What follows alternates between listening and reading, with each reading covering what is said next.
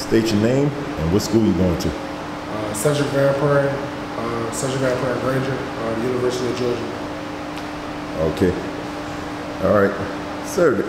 Sedrick. So, congratulations on signing with the University of Georgia. Thank you. What made you decide to to go to Georgia? I know you had a bunch of major schools looking at you. So, what made you decide the Bulldogs? Uh, the biggest thing for me uh, was the relationships I had with uh, Coach Kirby Smart, um, Coach Hankton, and uh, then Coach Luke. You know, so I think that's what, uh, what kept me in place. Those relationships. Okay. So, what do you plan to major in? Uh, graphic design.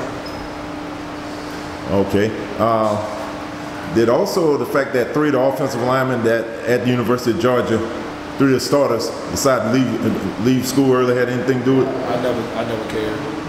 Okay. Cool. Yeah. I know. I know you didn't end your uh, high school career the way you wanted to end it, but you look like you had a pretty good high school career.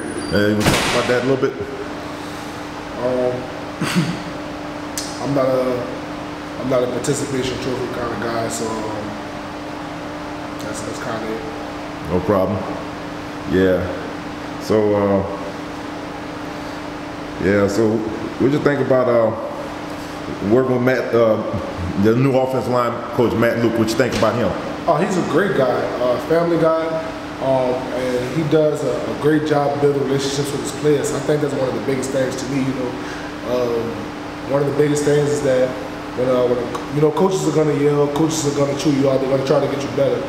But you know, I think in this day and age, kids may take you wrong. I think a biggest, a big thing about that is because of relationships. I think if you have a, a good relationship with that coach, you know, it's a lot easier to take that criticism. But as if a guy that, if it's a guy that you don't think, you know, really cares about you, you know, it may be a little harder for you. So I think he does a good job developing relationships with his players. Okay. So, anything else you want to add? Um, no, I just want to thank you for coming out and uh, taking the time. Thank you. You're welcome.